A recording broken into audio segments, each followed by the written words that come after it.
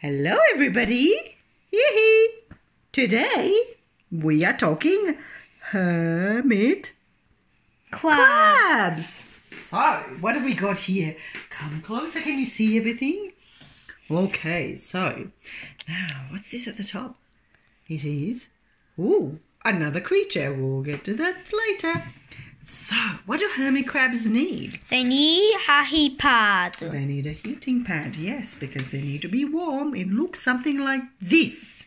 We put it on top here, and then we put these are stick insect eggs.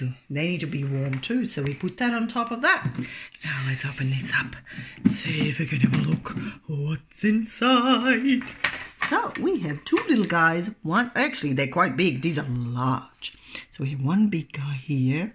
He's not very friendly. You can kind of go and see if he will come out. That's all right. You don't need to zoom out. He's a bit shy. He's she's covering his eyes. He's saying, "Oh no, not me today." He doesn't like to go on camera, does he? Now this little guy, you saw him earlier on. Whoa, look at him. Hello, Hermie. Silas gets a little bit creeped out, but that's okay. He's just come to say hello. Have we, uh, can we see him? We can see him. It's okay. Don't worry. He won't jump at you. I've got him, see? They're pretty, pretty crazy creatures. They look a bit like, well, look a bit like dinosaurs or something. We won't get him to do the walk, but just wanted to show yeah, you. He's getting closer. That it was fine. So, hermit crabs, they need, what do they need? They need fresh water and salt water. Right here, can you see They that? also need little amounts of food. That's right, little bits of food. Silas has shown you what they eat. They also eat veggies and a bit of fruit. Whoop! Careful, little guy. So you got to be careful with them because they're a bit crazy. They need things to exercise on and things to hide and a bit of sand. What else did I forget? Something? They're pretty easy to look after. You can also buy these crabs from Bud Friends. You can buy them from pet shops. The little ones are five dollars, and the big ones are about eleven dollars. Was it? Yes. So yes, pretty pretty nifty little creatures.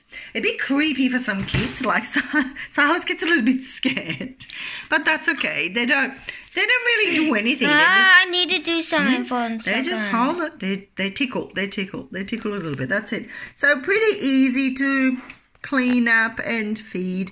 And you can go away, but just make sure you leave plenty of water and food for them so that they don't die. But we know that they can live for how long? If they can live also- up to two weeks without food and water.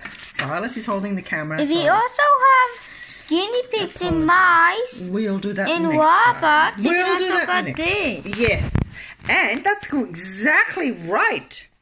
But this is about hermit crabs. We'll talk about that in another video. you can also spray the tank with the water because they like a bit of moist, like that. Because they like a bit of moisture in the air too. Hermit crabs. There you go. He's off. Where's he going? Bye bye. Bye bye. See you next time. So that's the salt water and the fresh water right there. A bit of food and yeah, that's pretty much all you need. Pretty low cost. We got this off Gumtree for about 20 bucks and then we had to get another guy because they are social creatures. That's what we forgot. And they like to live in pairs. They get lonely.